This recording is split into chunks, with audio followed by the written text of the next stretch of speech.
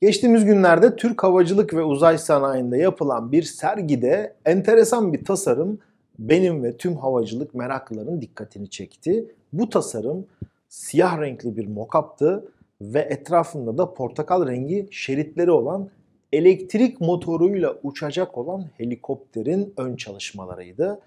Türk Havacılık ve Uzay Sanayi TUSAŞ T629 serisi taarruz helikopterinin elektrik motorlu bir modeli üzerine çalışmalar yapıyor. Bu tabi bu fotoğraflar hemen kamuoyunu ikiye böldü. Ee, bir taraf işte ya daha elektrik motorlar havacılık için hazır değil. Niye bu tür çalışmalar yapılıyor? E, TUSAŞ keşke odağını biraz daha diğer projelere verse derken bir bazıları da bu elektrik işi havacılığın geleceği neden yapılmasın yaklaşımındaydı. İşte bu videomuzda elektrikli motorlar havacılıkta hangi aşamaya geldi? Daha gidilecek yol var mı? Neler yapılmalı konusunu birlikte inceleyeceğiz. Bir de dünyadaki elektrik motor projelerine birlikte bakacağız.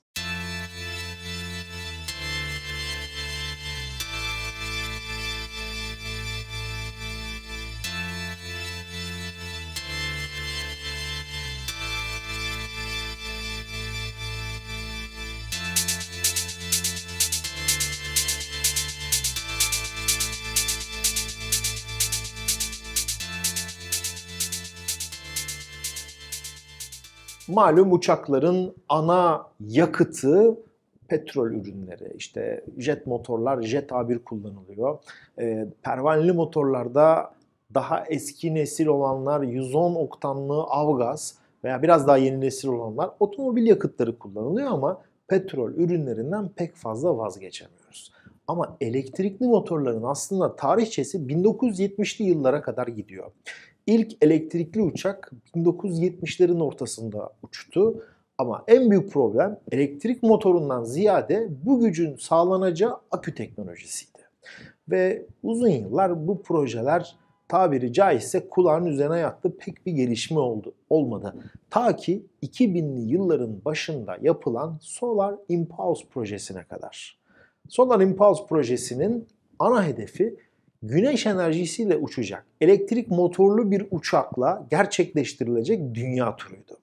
Ben yıllar önce AYATA Uluslararası Havayolu Taşımacılığı Birliği'nin Cenevre'deki bir toplantısına katılırken önce bizi Solar Impulse'un e, bir İsviçre Hava Kuvvetleri'ndeki üstündeki merkezine götürmüşlerdi. Ve ya bu iş nasıl olacak güleriz geçeriz derken o kanatları inanılmaz uzun ilk prototipin e, testlerini görme şansına erişmiştim. Ve projenin de CEO'su olan Andre Borschberg ile tanışmıştık. Kendisinin eşi Türktü ve bize de ayrı bir yakınlık göstermişti. Ve sonrasında bu projeyi çok dikkatle izlemeye başladım. Aradan yıllar geçti. İkinci prototip yani turu yapılacak uçak inşa edildi. Ve bu uçak Abu Dhabi'den havalanıp dünya turuna başladığı zaman o ilk uçuşta ben oradaydım. Uçuş tam 18 ay sürdü bu kanat açıklığı 60 metrenin üzerindeki uçak saatte sadece 65 kilometre hızla dünya turunu tamamladı ve bu uçuş elektrikli motorların havacılıkta kullanılması için de çok önemli bir kapı açtı. Halen Andre Borschberg e, elektrikli motorlu bir eğitim uçağı projesi üzerinde çalışıyor ve bu projeyle de ilgili çok ciddi aşamalar kaydedilmiş durumda. Zaten dünyada bu konuyla ilgili çok güzel gelişmeler var. Umarım yakın zamanda, yakın zaman derken tabii ne kadar yakın olduğu da bir soru işareti. Bu tür elektrikli uçakları gökyüzünde görmeye başlayacağız. Çünkü çok büyük üreticiler teker teker bu projeye girmeye başladılar. İşte o büyük imalatçılardan biri de İngiliz motor üreticisi, tasarımcısı Rolls-Royce şirketi. Rolls-Royce şirketi General Electric, Pratt Whitney'in arkasından dünyanın üçüncü büyük sivil ve askeri motor üreticisi. Elinde dehşet teknolojiler var ve Rolls-Royce geleceği elektrik motorlarında görüyor. Elektrik motorları ile ilgili iki ayrı proje Rolls-Royce tarafından dikkatle takip ediliyor. Bu projelerden bir tanesi Vertical Aerospace ile birlikte geliştirilen ve şehir içerisinde kullanılacak bir tilt rotor tasarımı. Bu tilt rotor şehir içindeki ulaşımda yerdeki trafik derdini ortadan kaldıracak ve saatte 320 kilometre hızda ulaşabilecek. Bu konudaki motor yatırımları Rolls-Royce tarafından yapılıyor. Vertical Aerospace'te tasarımı gerçekleştiriyor. Kullanılacak motorların her biri 100 kW güç üretecekler ve 150 Rolls-Royce mühendisi bu projede görev yapıyor. Rolls-Royce'un diğer bir projesi ise Iron Bird olarak adlandırılıyor. İyon bataryadan geliyor. Ön ismi Bird de biliyorsunuz İngilizce'de kuş. Bu projede imal edilecek motor 500 beygir güç e, üreten bir petrol ürünleri kullanan motora eşit bir güç üretecek. Dakikada 2400 devir gerçekleşecek ve hedef uçağı saatte 482 kilometre hıza çıkarmak. Özel bataryalar geliştirildi bunun için ve her bataryada 6000 hücre bulunmakta. Elektrik motorlarıyla ilgili en büyük problem ne motorun büyüklüğü ne de oluşturduğu güç en büyük problem batarya. Çünkü bataryalar ne kadar büyürse uçakların taşıyabilecekleri yük miktarı yani yolcu veya kargo taşımaktan çok uçak batarya taşımaya başlıyor. Ve şöyle bir karşılaştırma yapılıyor havacılıkta yeni nesil bataryalarla ilgili. Şu anki bataryalar 250 watt saat bölü kilogram güç üretiyor. Ama uçağın ihtiyacı minimum 800 watt saat kilogram. Bu uçaklarda jet motoru kullanıldığı zaman bu sefer güç muazzam bir hale geliyor ve 12.000 watt saat kilograma kadar böyle bir güç üleştirmiş oluyor. Bunu uzmanlar 1980'lerin e, bilgisayarlarıyla, masaüstü bilgisayarlarıyla şimdiki bilgisayarı karşılaştırmak gibi ortaya koyuyorlar. Ayrıca yeni ürünlerin sertifikasyon süreçleri de çok uzun. Bu nedenle şu anki projeler mevcut uçak modelleri üzerinden devam ediyor. Öncelikli olarak ultralight sınıfı iki kişilik çok hafif uçaklarla denemeler yapılmaya başlandı ve yavaş yavaş elektrikli motorlar uçaklar devreye girdi. Bunun sonrasında tek motorlu işte deniz uçaklarıyla ilgili bir çalışma izledi. Halen testler devam ediyor ve arkasından da Cessna'nın karavan türü uçağıyla testler yapılmaya başlandı. Şu anda batarya teknolojileri uçakları yaklaşık 100 deniz mil yani 185 kilometre mesafeye kadar uçurabilecek güçte. Bu uçak için çok kısa bir mesafe. Peki nereye uygulanabilir bunlarla ilgili havacılıkla ilgili çalışmalarda? Örneğin deniz uçaklarına, deniz çeşitli turizm turları yapan uçaklar için ilk uygulama aşaması gerçekleşmeye başlamış durumda. Bu uçaklar şehirlere, yerleşim birimlerine çok yakın uçuyorlar. Bu tür elektrikli motorlar gürültüyü en aza indirirken kısa mesafeli uçuşlarda da uçuşun ekonomik olarak yapılmasını sağlıyor.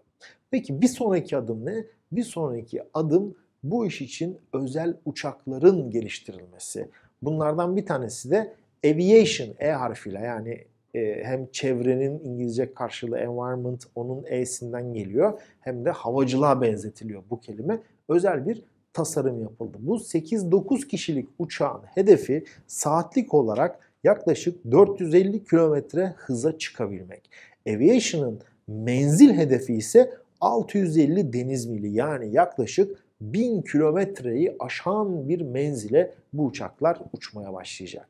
Ve tabii ki elektrik enerjisi sıvı yakıtlara, petrol ürünlerine göre daha ucuz bir e, enerji kaynağı olduğu için de bu uçak yaklaşık 1000 kilometrelik bir yola yani İstanbul'dan Antalya örneğin 25 dolarlık bir bilet satabilecek. Bu durumda havacılığın gelişmesini inanılmaz geliştirecek çok önemli bir adım olacak. Bir taraftan da olayın çevre boyutu var. Bugün havayolu şirketleri hoş ne kadar e, koronavirüs çok etkili olup sıkıntı oluştursa da havayolu şirketleri dünyadaki hava kirliliğinin %2,5'unu gerçekleştiriyor ve şu anlık yapılan ölçümler her yıl 1 milyon ton karbon salınımının havayolları tarafından yapıldığını hedefleniyor. AYATA'nın veya Uluslararası Sivil Havacılık Örgütü ICAO'nun bazı hedefleri var. Bunlar da hedefte 2050 yılına kadar gelişmiş yeni nesil motor teknolojileriyle bu karbon emisyonunu en aza indirebilmek. Belki kalkış gibi çok yüksek güçlerin gerektiği yerlerde uçaklar jet motorlarını bir süre daha kullanacaklar ama sonrasında bu tür elektrikli motorlarla belki biraz daha yavaş uçacağız ama çok daha çevreci, çok daha atmosferi kirletmeden uçuşlara yapılabilmesi için çalışmalar, araştırmalar devam ediyor. Sadece motor imalatçıları değil, Amerikalıların e, uzay konusunda çalışmalar yapan devlet kurumu NASA da bu konuyla ilgili çok ciddi çalışmalar gerçekleştiriyor. Elektrik teknolojileri, batarya teknolojileri üzerine çalışılıyor. Çünkü buradan geliştirilecek olan teknolojiler ileride hem uzay hem de havacılık dalında farklı farklı alanlarda kullanılabilmesi için çok önemli birer adım olacak. Evet gördüğünüz gibi gelecek elektrikte, elektrikli motorlarda bence Türkiye'nin de bu konuda çok önemli adımlar atması gerekiyor. Malum uçak motoru veya diğer motor sistemleri işte bugün bir bakıyoruz Türkiye Pakistan'a T-129 atak helikopteri ihraç edecek. Motorla ilgili sıkıntı yaşıyoruz. Ne yapıyoruz? Bunu aşabilmek için Türkiye kendi motorunu geliştirmeye çalışıyor. Çok ciddi paralar bu sektöre ayrılıp ARGE'nin yapılması gerekiyor. Çünkü Türkiye'nin uçak, helikopter motoru, havacılık motorundaki çok büyük eksiklikleri var kendi ürünleri konusunda. Bunları kapatmak üzere çok yoğun bir çalışma var. Yakın bir gelecekte elektrik motorlu hava araçları da gündeme gelecek. İşte TUSAŞ'ın projesinde olduğu gibi.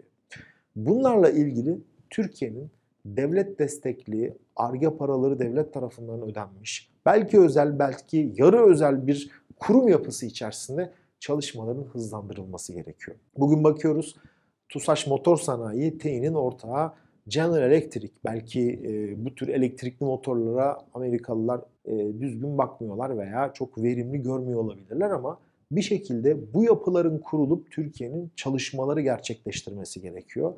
Hem motor konusunda hem de pil konusundaki teknoloji eksikliğinden, ilerlemeden geri kalınmaması gerekiyor.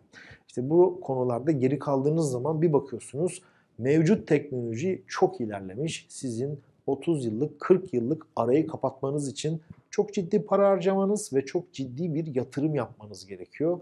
Umarım o yatırımlar bugünlerden yapılmaya başlanır ve gelecekte burada elde edilecek teknolojiler Türk yapımı motor, elektrikli motor ve akü teknolojisine yatırılabilir. Girişi TUSAŞ'la yapmıştık. Kapanışı da TUSAŞ'la yapalım. Malum TUSAŞ'ın T629'u elektrik motoruyla uçması konusunda bazı çalışmalar var. Mevcut yapıya baktığımız zaman kokpitin insansızlaştırılması ve buraya bataryaların konulmasıyla birlikte helikopterin bu ağırlığıyla elektrik batarya yüküyle uçurulması hedefleniyor. Ancak mevcut batarya e, kapasitesi bunu ne kadar kaldırabilir? Bunlar hala ciddi soru işareti. Bu çok uzun bir uçuş olmayabilir belki ama Türk havacılık sanayinin ve teknolojisinin ilerlemesi için önemli bir adım olması bekleniyor. Umarız bu konuda hem motor hem de batarya konusunda çalışmalar yapılır ve bir gün bu uçağın normalde sıvı yakıt kullanan modelinin yanı sıra benzer yükü taşıyarak, benzer saatler havada kalarak elektrik motorlu modeli de üretilir. Bugünkü videomuzda elektrikli motorların havacılığın geleceğini nasıl oluşturacağını ve bu konudaki ARGE çalışmalarına Türkiye'nin devam etmesi gerektiğini dikkat çekmeye çalıştım. Bu konudaki teknolojileri anlatmaya çalıştım sizlere. Umarım yararlı olabilmiştir. Lütfen sorularınızı bana yorum olarak yazın. Detaylı savunma ve havacılık konusundaki haberlerimiz tolgozbek.com'da bizleri aynı zamanda sosyal medya üzerinden işte Facebook, Instagram, Twitter hesaplarımızdan da takip edebilirsiniz. İşbirlikleriniz için info.tolgozbek.com mail adresine mesajlarınızı bekliyoruz. Yarın yeni bir videoda görüşmek üzere. Herkese sağlıklı ve mutlu günler diliyorum.